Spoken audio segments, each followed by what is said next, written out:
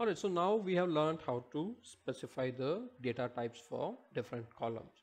Now what if you don't want to read in um, all the columns in your data set, right? Say, let us say we have uh, six columns, right? And I don't want to read in the first two columns. Those categorical data, I'm not going to read them in. I just want to read in the uh, last four columns, right? So let us see how we can do that. So here we are basically trying to skip some columns. So we'll read the same file, read underscore CSV.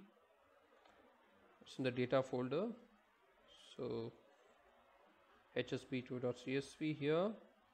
And then now again, I'm going to specify the column types here, right? Even when you're trying to skip data, use the col types argument, use a list function because you're, you're going to give a list of data types but instead of using col underscore factor I'm going to tell readr to skip this particular column right? I want to skip the first two columns. So I'm going to use col underscore skip twice. The next two columns are integer. So we'll use col underscore integer for read and write.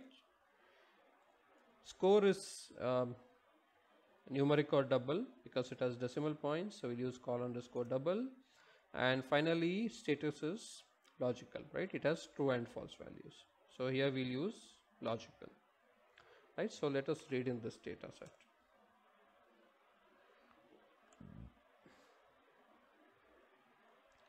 Right so now you can see it has just read in the four columns right? We have six columns in this data set but we said that we want to skip the first two columns right? And we used col underscore skip to indicate to readr that the first two columns must be skipped. Here you can see it has skipped those first two columns and it has just read the last four columns right? You can see there are 200 rows.